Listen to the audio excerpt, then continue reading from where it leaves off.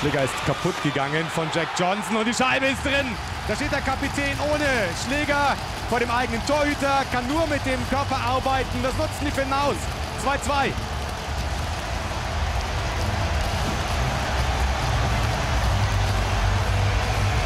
Und es wird das Videostudium bemüht.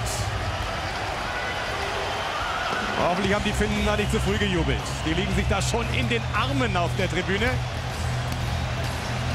Hier sehen wir Filpula, Valtteri Filpula. Kopf die ganze Zeit oben, immer Blick Richtung Mitspieler.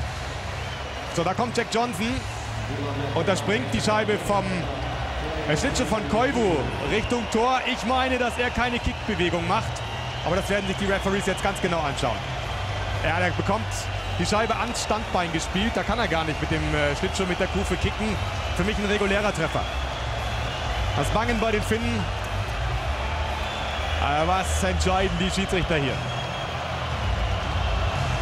Scheibe darf vom Schlittschuh von der Kufe Richtung Tor wegspringen. Aber es darf keine Kickbewegung, keine aktive Bewegung mit dem Schlittschuh stattfinden, um die Scheibe Richtung Tor zu befördern. Das ist das, was jetzt kontrolliert wird. Der Kapitän. Geht er mit Beispiel voran? Bekommt er hier seinen dritten Turniertreffer angerechnet? Aber die Geste des Schiedsrichters, jawohl. Und jetzt können sie sich zurecht freuen, die Finnen. Sie haben das Spiel wieder geöffnet. Was für eine Erleichterung. Beifallsorgan in der Hardwall Arena. Hier sehen wir es nochmal.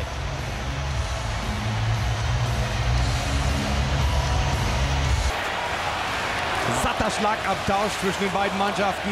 Begegnung in der Vorrunde war eindeutig ohne Ende für die Amerikaner. Ein glattes 5 zu 0.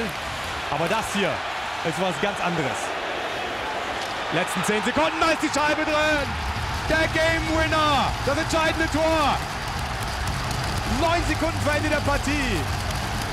Das gibt's doch gar nicht. Das gibt's doch gar nicht. Die Finnen, sie sind im Halbfinale. Jos Jesse Joensu.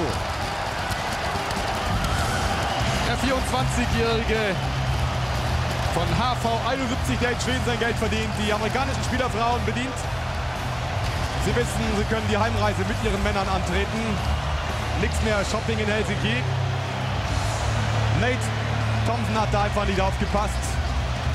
Lässt Joensu die Scheibe mit einem One-Timer ins Netz versenken, mit einer Direktabnahme, weil er einfach hinter seinem Gegner stand und nicht vor ihm.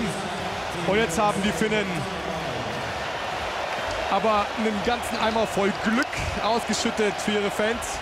Endorphine, Glückshormone ohne Ende nach dieser Szene.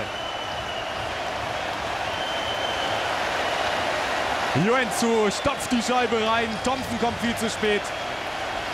Eine einzige Szene, ein Leichtsinnsfehler von Thompson, der hier nicht konzentriert genug war, eine Defensivarbeit entscheidet. Dieses Spiel auf des Messers Schneide, geführt von der ersten Sekunde an.